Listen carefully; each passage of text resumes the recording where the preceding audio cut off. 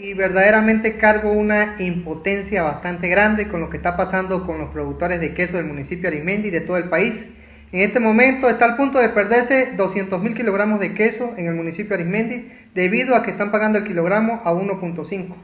Y para no echarle la culpa al quesero, al camionero, al mayorista, al distribuidor, hablé con cada uno de ellos. Le pregunté a los queseros qué estaban pasando y me dijo que ellos habían cerrado la quesera porque los tiene quebrado el CENIA, el SAMA, los impuestos y pare de contar.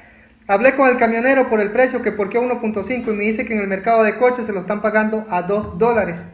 Llamé para el mercado de coches un amigo distribuidor y me dijo lo que está pasando es que el mayor consumidor de queso es la capital del país. Y en este momento, a pesar de que bajó el precio del queso, el consumo es muy bajo en la capital debido al poder adquisitivo, ya que la gente en Caracas, pues el que no vive de bono, vive de un salario mínimo y no tiene para comprar el queso.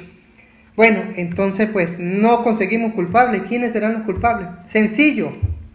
Tenemos un ministro de Agricultura y Tierra militar que tiene años ejerciendo y no sirve para una M. No sabe nada de lo que tiene que ver con oferta y demanda, organización de la producción, distribución, diversificación de productos ni nada. ¿Por qué? Porque simplemente ellos expropiaron y destruyeron las empresas de lácteos que teníamos acá, como Lácteos Los Andes, La Batalla, que sacaba los mejores quesos y lo exportaba para España y para otros países europeos.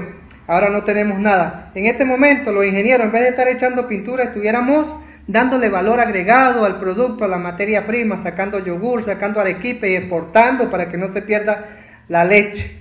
Ahora, ¿a quién le irán a echar la culpa? Porque para ellos todo el mundo es culpable, menos ellos. ¿Qué irán a decir? Que los 200 mil kilogramos de queso de Arismendi se están perdiendo gracias a las sanciones y al bloqueo y que por culpa de las vacas que se convirtieron en golpistas, ahora las tetas están dando más leche para sabotear la fulana revolución.